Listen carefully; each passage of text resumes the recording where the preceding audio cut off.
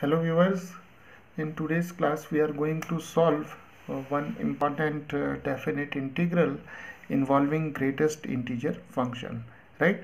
So here we have the integral uh, from e to e square greatest integer uh, log x raised to 100 right?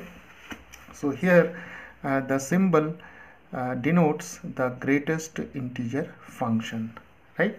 So let us call this integral as i now, uh, uh, before proceeding further, uh, let us uh, uh, take a look at this function, uh, say f of x is equal to greatest integer log x raised to 100, right? So here the base of the log, logarithm is e, which is the exponential number right? So we can also write this function f of x as ln x raised to 100 right?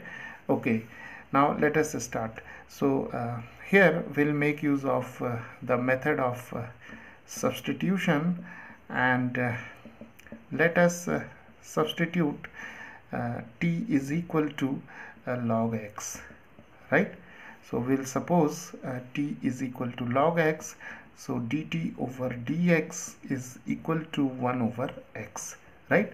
Now from t is equal to log x we can write x is equal to e raised to t right?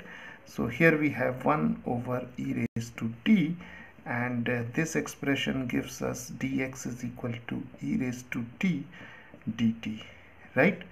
Okay. Now uh, since we have changed the variable from x to t so uh, let us uh, accordingly uh, change uh, the limits right? So when x is equal to e and when x is equal to e square right? So when x is equal to e then the value of t is log of e and log of e is equal to 1 and here when x is e square the value of t is log of e square. That is 2 log e and log e is 1 so we have 2 right?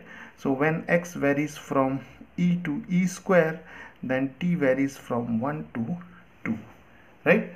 Okay.